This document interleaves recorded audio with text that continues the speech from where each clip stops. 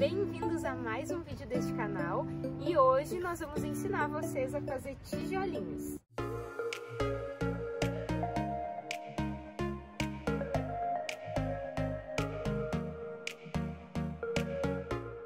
Você vai precisar de um pote de medida, esse aqui tem 400 gramas e ele era de é, geleia ou chimia ou nata, enfim. Você vai precisar também de um recipiente para fazer sua misturinha e a gente usa uma espátula para misturar. O gesso, ó, esse gesso aqui que a gente tá usando. Pode ser qualquer gesso, tá? Pode ser de 1 kg, de 5 quilos, como você preferir. Então, e além vou, disso, tem o cimento. Não pode esquecer do cimento, tá? Então é cimento, gesso, os potes e a água. Agora vamos ver o que a Thalia faz com gesso. Então você vai precisar de uma medida de gesso.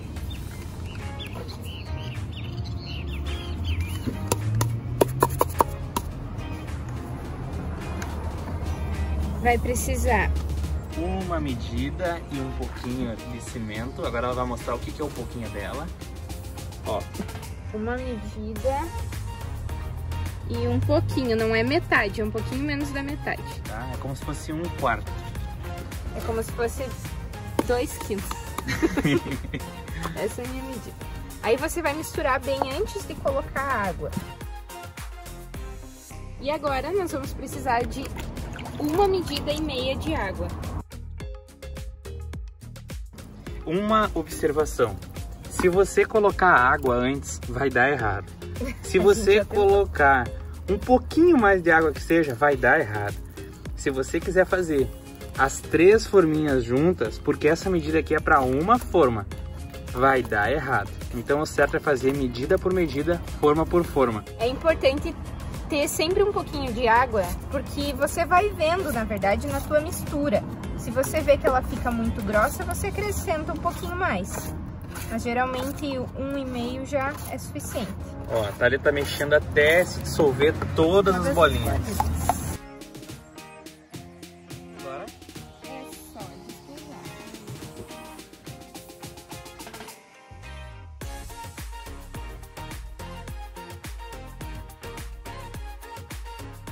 E agora você espalha bem. E aí, depois é só tirar os excessos. Então você vai raspando na bordinha da forma.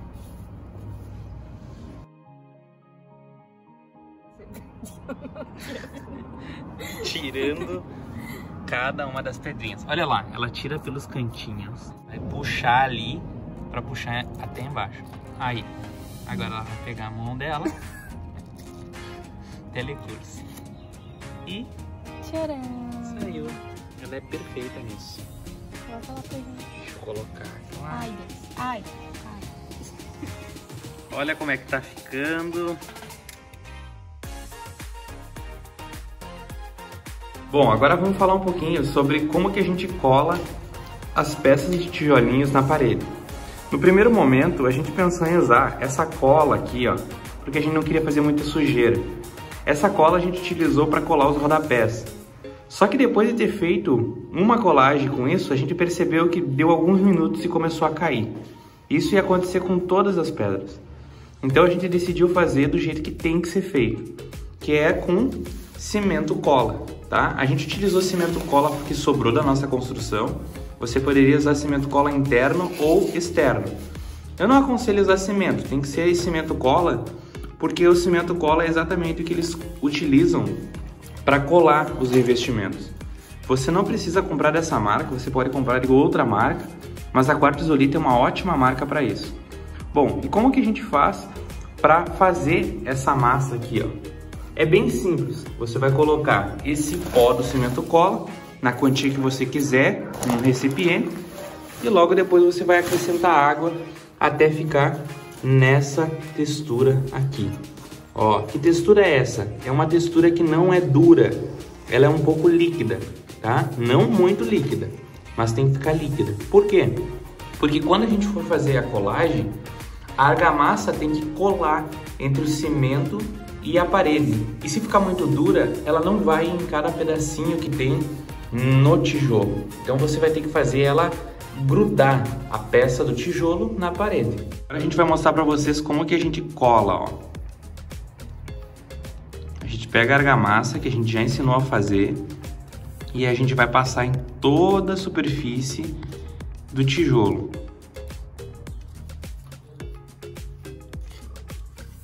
Logo depois de terminar de passar em toda a superfície do tijolo, a gente já cola direto na parede.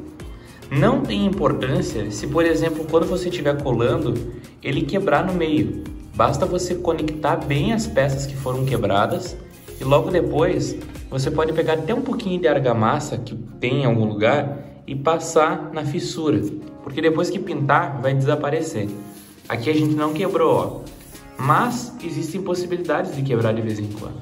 Aperte bem até a argamassa pegar na parede e no tijolo compra os materiais para fazer? É uma boa pergunta. É uma boa pergunta. Agora a gente vai falar sobre os materiais e onde é que a gente comprou cada um deles. As forminhas, que também é uma pergunta, se a gente usa forminha, e sim, a gente mostrou para vocês. E as forminhas nós compramos no Mercado Livre, foi...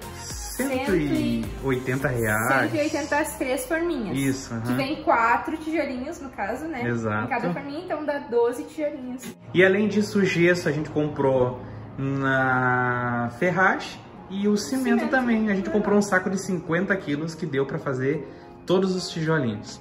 A medida, nós vamos falar juntos sobre isso. Ou você pode ser calculista, matemático, ou você pode fazer como a gente fez. A gente pegou a primeira fileira, pegou um tijolinho, dois tijolinhos, três tijolinhos e assim por diante. E a gente descobriu que deu quantos tijolos? 15 e meio. 15 e meio tá? Essa parede aqui, a gente vai colocar a medida agora exata dela no vídeo aí que a gente ainda vai medir. questão de altura, a gente fez isso daqui, olha aqui, ó. Ó, a gente foi fazendo linha por linha para descobrir quantas linhas foram. Aqui são 15 tijolinhos em cada linha e deu quantas linhas? Deu 40 linhas, certo? E nessas 40 linhas nós temos aí aproximadamente 600 tijolos. É, então deu 600 tijolos para essa parede da medida que eu já mostrei para vocês qual é. De onde surgiu a ideia de fazer a parede de tijolinhos? E nós tínhamos visto em algumas inspirações essa parede que nós vamos pintar de branco no final.